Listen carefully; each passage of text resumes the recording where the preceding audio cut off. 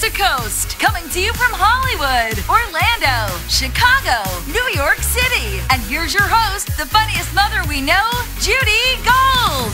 Hey, folks, welcome to Nick Mom Night Out, Coast to Coast.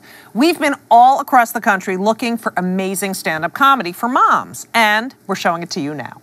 Our first comic mom has appeared on everything from The Tonight Show to General Hospital to the Christian Broadcasting Network. Coming to us from Hollywood, California, here's Kerri Pomarolli. Yes!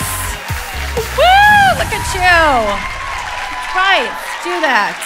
Woo! You guys, who's happy just to be out of the house? Really? Right, right? You don't care where you are, right? Who got in the car tonight and you told the sitter, you're like, I'm going to mom's night out, I'll be back next Friday, right? we may go to Vegas, I don't know. So, you guys, yes, I am a member of the Mommy Mafia, and um, I have two kids. I have a four year old and a good one. And, um, but seriously, we like the one year old better because she doesn't talk. And um, come on, you know you like one of your kids better, right? Clearly. And when you have one kid, you try. Like there's effort, you know, you read books, you go on email. And then by the time you have the second kid, the brain cells have been sucked out of you. Do you know what I mean? Like, like you don't care by the time you have the second kid. I mean, the first kid never had sugar. I cared. I mean, she never did anything wrong. She never watched TV. My second child came out of the womb and she was like, Me amo, Dora, me amo. Swiper, no swiping, swiper, no swiping. Right? I feel bad for the second kids. They don't get the stuff the first kids get, you know, like food. Um, because we're busy. You know what I mean? I'm, and I have a four year old who's gifted, so I cannot put her in childcare with other normal kids because she's better.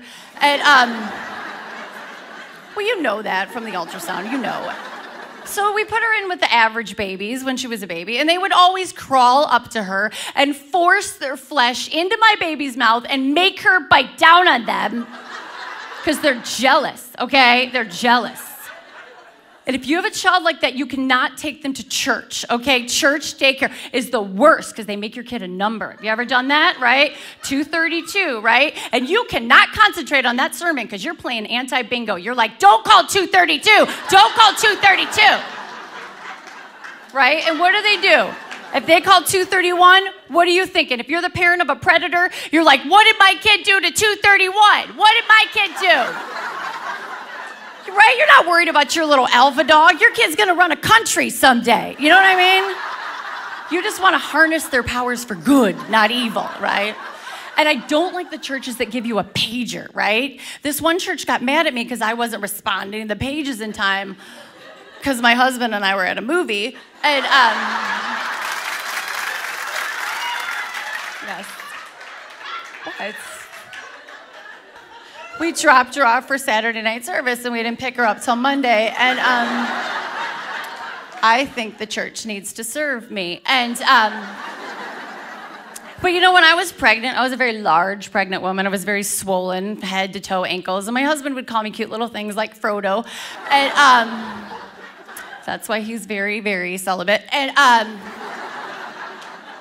it's a gift. The thing about it is, I was so swollen I couldn't wear my wedding ring. And I remember going to the grocery store, eight months pregnant, and my husband's behind me with a cart. And he's like saying cute things like, All right, all right, baby, I'll marry you. Okay. Very celibate. And, um,